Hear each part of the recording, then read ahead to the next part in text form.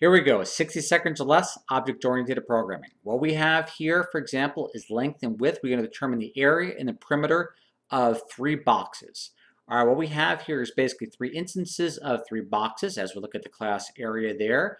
What we are going to do is we're going to create this list and then we're going to iterate through this list in regard to a separate function, get the total length and total width, create or return another quasi-instance of area, which is basically, according to the class, is going to be considered just one box because it's going to be the totals.